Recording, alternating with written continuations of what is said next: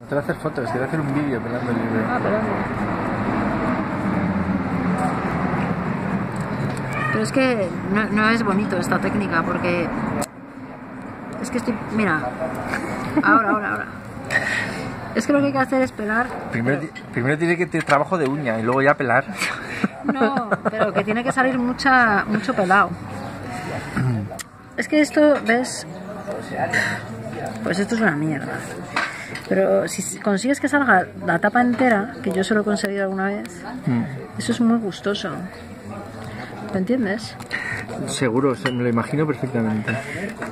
No, yo creo que me, me estás tomando el pelo. No, no, no, no. O sea, me estás diciendo que sí para, por, por- por decir. En absoluto. Formas, estás subestimando una cosa porque no lo has experimentado. ¿Cómo que no? Se acabo de pelar yo la mayor parte del libro. No, pero muy poco. Es que no se, no se pela bien. Pero porque es viejo. Este libro es muy malo, ¿eh? Sí, es muy malo. Es un Ah, libro- mira, ya has hecho ahí bastante. Claro, pues ya te he dicho yo que, que lo de la uña se me da mucho mejor que a ti.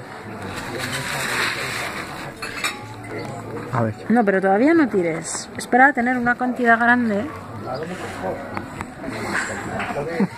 ¿Eh?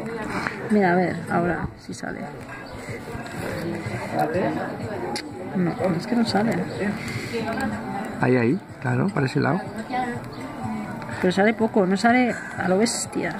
Venga, raca. Ya, es un poco frustrante si no sale a la bestia. es Claro, verdad. es que lo que mola es que hagas así, salga la tapa entera y se te enrosque en el dedo.